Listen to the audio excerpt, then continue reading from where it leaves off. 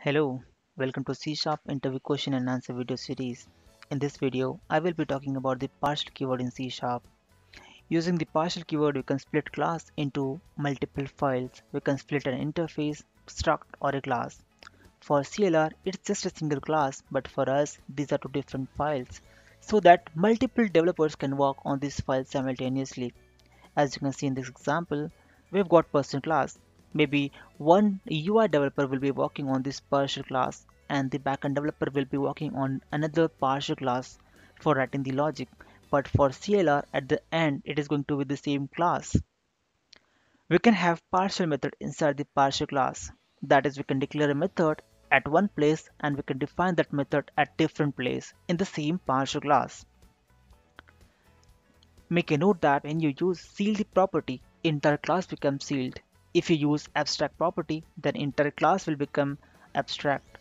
At the same time, name of the partial class at both the files must be same. Flipping to Visual Studio, in interest of time, I just created one WinForm. If you see the WinForm, we have got two files, form1.cs and form1.designer.cs.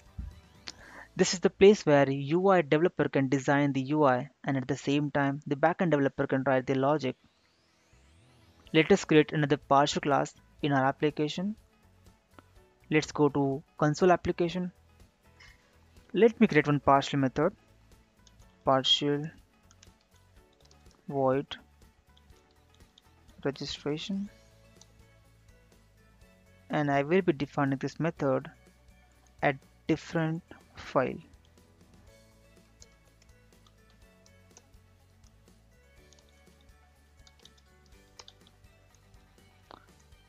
As partial method is private by default, we cannot call this method outside this class.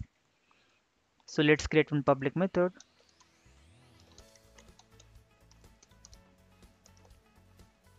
Inside this method, I can call this registration.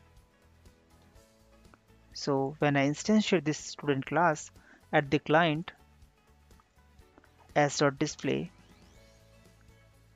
when I call this method as.display, this method in turn will call registration. Important things to note about the partial method is that partial method must return void. A partial method declaration must begin with the partial keyword. Such methods can have ref but cannot have out parameter. Such methods are implicitly private, therefore they cannot be virtual. Method cannot be external because presence of body determines whether they are defining or implementing. Partial method can have static and unsafe modifiers. Partial methods can be generic.